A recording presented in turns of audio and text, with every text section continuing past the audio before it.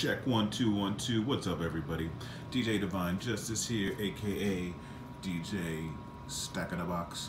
Want to do a quick tutorial about Flip. So, if you already have Flip on, you'll notice there's record, play, on, and loop.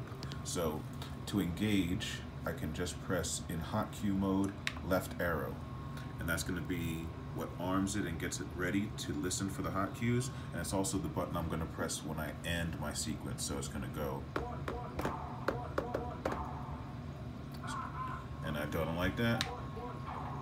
I'm gonna try it again.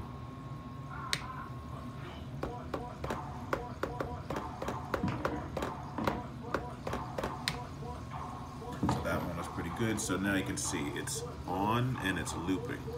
So if I go to play, play is like re-triggering it.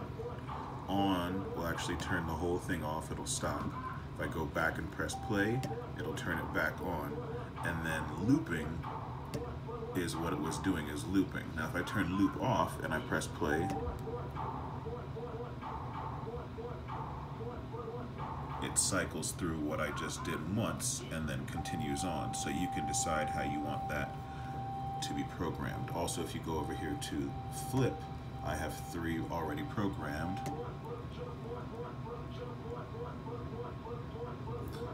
And that's looped, so that's gonna loop. If I turn off loop, again, if I press play,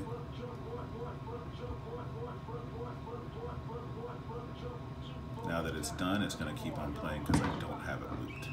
Same thing, you just trigger this because you get six loops per channel